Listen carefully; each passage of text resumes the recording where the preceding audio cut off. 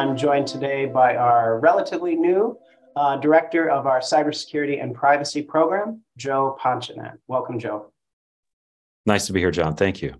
Clearly, keeping up with cybersecurity changes is is a challenge, and you know you're running to keep up, and and it's and it's arguably impossible to keep up because the bad actors have a very narrow scope of the badness they need to do. And meanwhile, you're trying to protect. We all know that the challenges are significant. So, how do you keep up as a leader of a program? What we can't keep doing the same things and expecting different results. So, where do you want to take the cybersecurity and privacy program in the years ahead? Well, I think the, the, the first part was just a few years ago.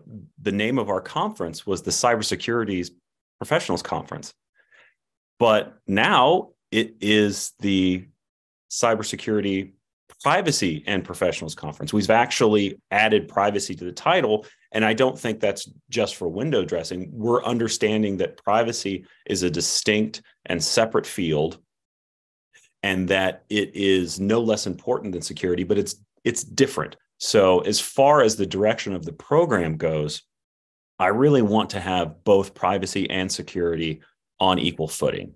They need to be seen as co-related fields, but there are professionals in each area and it's they're not the same, but they work in tandem to protect everyone.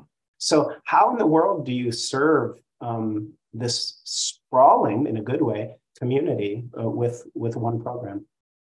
Really, it is finding the connections between the two. So we can help the underserved institutions by leveraging what the larger institutions have learned through their own development and they can use to shepherd them into the next level of their development and also it, all boats rise so if many of those students that are going to maybe start out at a community college might end up at a four-year institution at some point in their career. So anything that the the larger schools can do to help the students at all those other institutions is going to help the community at large. So really it is making sure that they're not in their own echo chambers, making sure that R1s are just talking to R1s and community college folks are just talking to community college folks. They all need to be talking together and build that sense of community and help each other find those solutions.